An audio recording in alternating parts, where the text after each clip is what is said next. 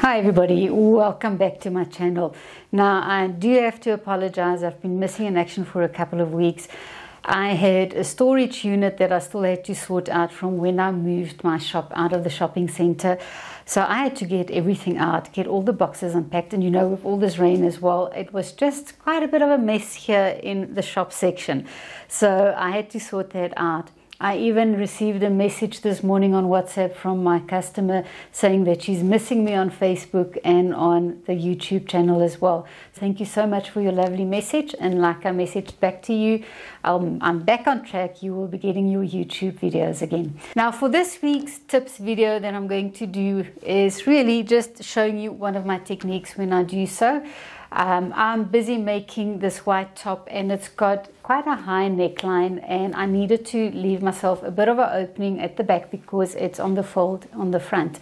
Now I designed for this top this teardrop opening there and always when we are working with these sort of curved areas we don't always get that neat finish that we want. So while I was busy sewing this, I actually recorded it just to show you a couple of my tips when I do work with these curved areas.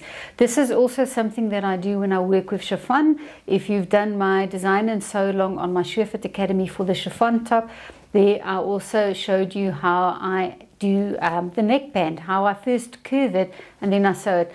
So obviously when I'm working with my curves like that and I need that neat finish, I go and I cut my pattern piece on the bias. Now if you're not sure what the bias is, I've also done a little video for you on how I changed my pattern piece to the bias. Now a bias for me is something that I don't always use it as much, but as I said, when I need shape somewhere, when I'm going to sew in an area where I need that shape and I need that clean finish, I do go and change my pattern pieces or do cut them on the bias. Now remember, cutting on the bias is instead of my normal grain line on my pattern piece, I change that grain line and I actually go draw that line on my pattern piece at a 45 degree angle. That 45 degree angle grain line then gets laid out on my pattern piece and that will be running with the grain line of my fabric and in that way my pattern piece is then angled. And cutting it on the bias then allows me to manipulate my fabric. I can stretch it on certain areas where I want to. And if we look at this as well on this outer edge of this curve I could go ahead and I could shape the fabric before I actually even sewed it. So I went and I really curved that area and manipulating. And on that outer edge I went and I stretched my fabric what happens if we don't do it that way is that I also get too much fabric then on this inner section. And um, that's when we start getting that wavy look, which we don't want. It actually looks stretched out there. And if we look at mine, you can see it's nice and flat against my mannequin. There's no excessive fabric, no waving. So it actually came out perfect. So this is really what I wanted to share with you today is just show you my whole process and it's all little videos that I took as I was sewing and I'm just putting them together for you so that you can see. So I'm just going to chat to you about the grain line, how I change it to the 45 degree. I'll show you my pressing technique that I have and also then the sewing that I do to get that finish. I hope that you're going to enjoy this tip and that you are going to be able to use it in future sewing projects. I decided I wanted a little bit of a teardrop opening because I am also going to cut my pattern on the fold. I didn't want to go and have a center back seam as well. So let's go and do our teardrop now. So again, take your designer's companion. We are going to use that small little curve that we have over there. And I want you to go and measure down for me from our neck point over there. Go and measure down about six centimeters. Now that is just over two inches. I will look it up and I'll just put it up for you so you know what my measurement was in inches. And all I'm going to do now, I'm going to flip my designer's companion over and with that curve I'm actually going to wherever I mark down to I'm going to put it down and I can move it around and decide how deep in do I want to go.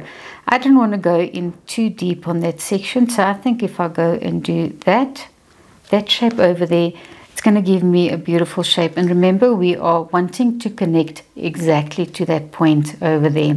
So I'm going to draw that line And that is going to give us a beautiful teardrop. Just imagine it carrying it on, on that section over there. So that is the opening that I'm going to do for myself on that section. Now, because we are working on a fold, you can, when we are cutting out, and I just want to write fold. Now, because we are going to work on the fold, we are going to cut this fabric on the fold all the way up to our neckline and then only will I go and I am going to cut out on that line. This is not going to get any seam allowance added. That is the shape that I want. And the finish that I'm going to do, I'm going to take a, a piece of, um, I'm going to take a band that I've cut on the bias. So I'm going to make my own bias binding with my fabric. And we are then going to put that bias binding around this area. And what I'm going to do, I'm actually my bias binding, I'm going to slip over that area. So I don't need any seam allowance whatsoever on that section. Um, for me, doing it the way I'm going to show you is going to be the best way to actually keep that beautiful shape.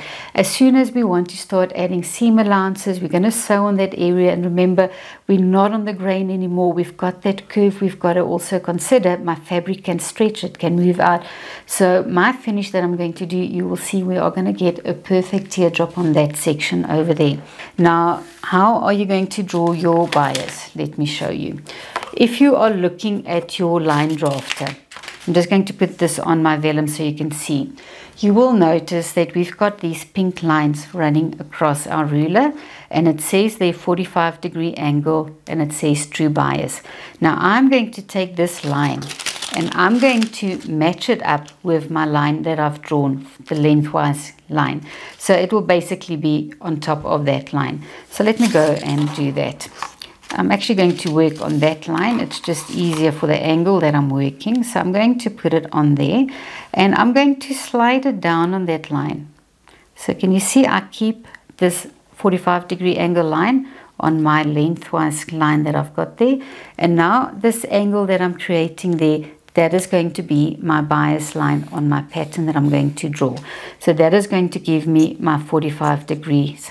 So when you are going to be cutting out your pattern, you are going to put this line, this grain line, on the grain of your fabric and your pattern will then be angled 45 degrees.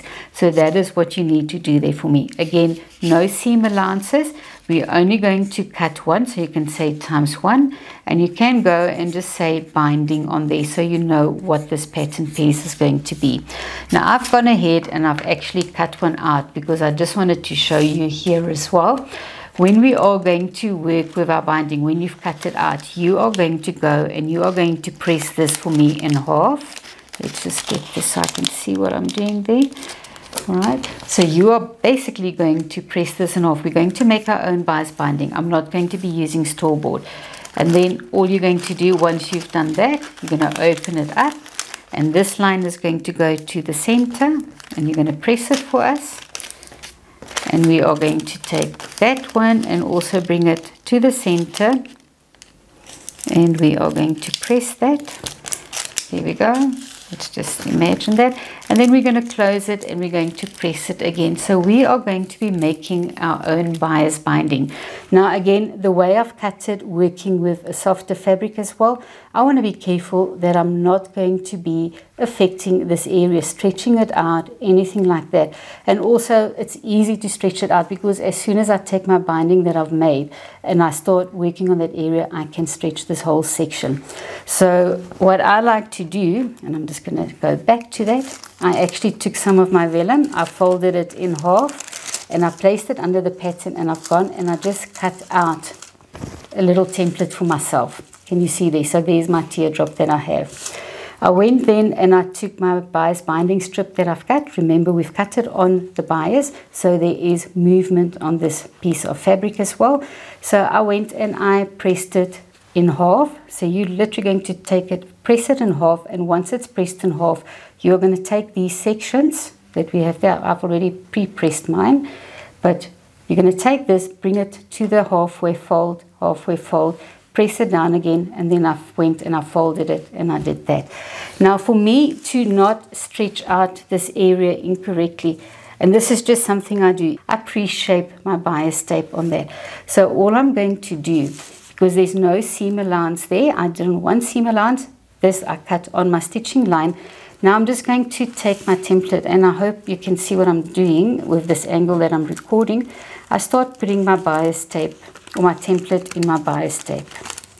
Can you see this? I start shaping it and I make sure I'm going around this curve as well. Take, it takes a bit of patience to do this because I'm working with a very flimsy fabric but I'm making sure I am going around that corner. Can you see how I'm starting to shape my fabric there? And I can now already go and just pull it a little bit. My one finger is holding it down. On this bottom curve, I'm already pulling a little bit on my tape. And you've just got to keep maneuvering it. Just keep going back till you've got it right. So I'm going to show you this whole process. There we go. There it's going flat. I'm pushing it flat. I'm pushing it flat. Can you see that now? So my tape is now looking like this. And now I'm going to put a bit of steam to it. I just want to get that flat. Can you see that? Again, I'm going to keep working this until I am happy with that shape. And now already I can see, all right, I'm a little bit short on there, so I know it's going to be an issue. So let's go back. And I'm going to take it and move it a little bit more.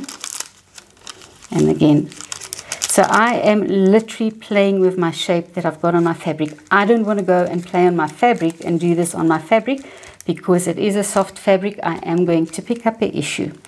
I keep moving it too much. So let's go back. Let me just do this off camera or let's see if I can just push it up that section. I'm just going to pull it. That's starting to look better. So that is really the shape that I want my bias binding to be. Can you see that? So there's my binding. Now I can go and I'm just pulling it a little bit more there because I want a little bit of a stretch there. And I'm happy with that. Now I'm actually going to press this. And if I'm pressing it like this, I am shaping my band already so that I don't have to go and do this when I am working on my fabric. So let's go and press this now. I'm going to give it a bit of steam as well. I hope I've got water in my press. There we go.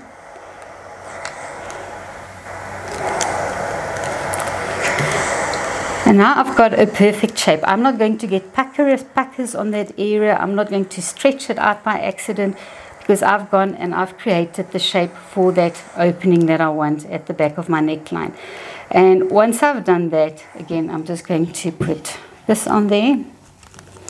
I'm just going to hold it and I'm going to let this cool down in that shape before I actually take it off my template. Now this is for me so much easier now going to my fabric.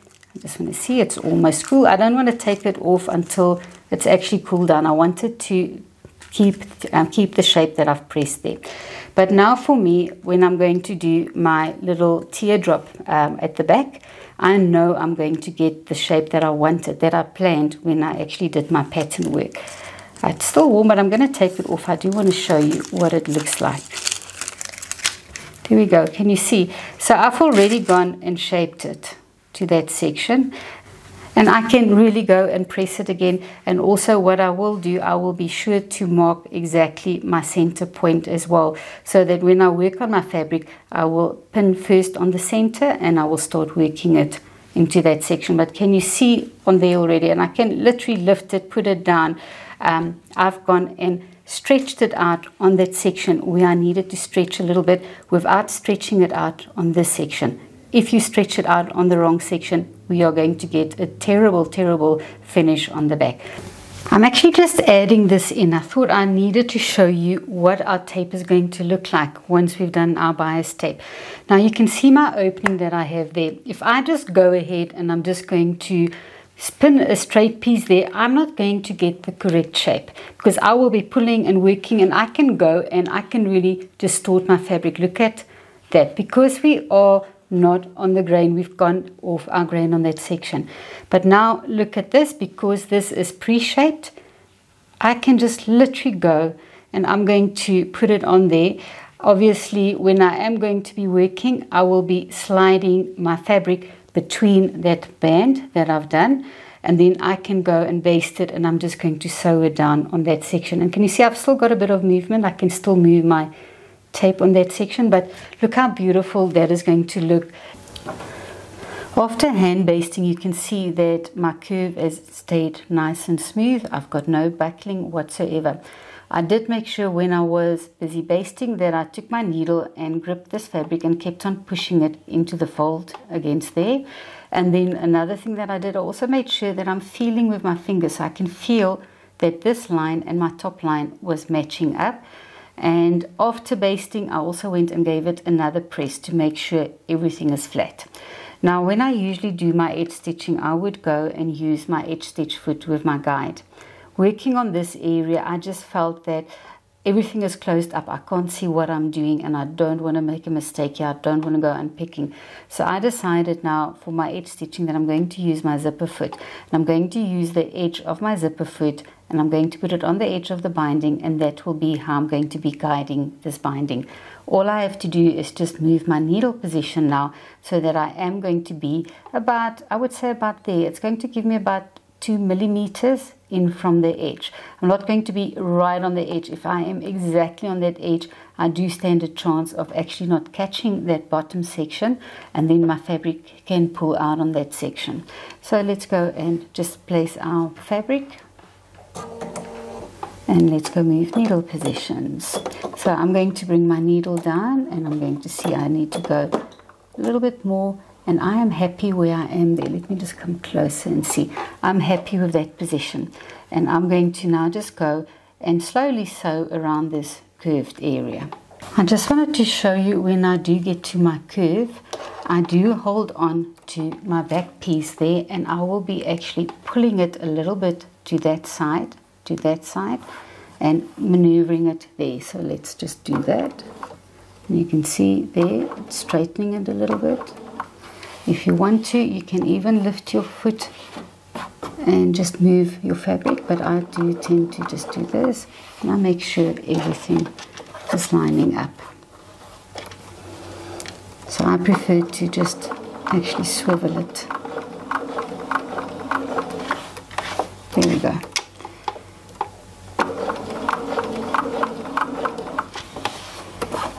I'm going very slow around this corner so I said, I really don't want to unpick anything on this fabric. It's going to be a nightmare. There we go. So can you see how I am actually, with my hands, bringing the fabric around without lifting my presser foot. So I'm really happy with how it turned out. So I will just go and give it a final press on this area so everything is nice and flat and smooth.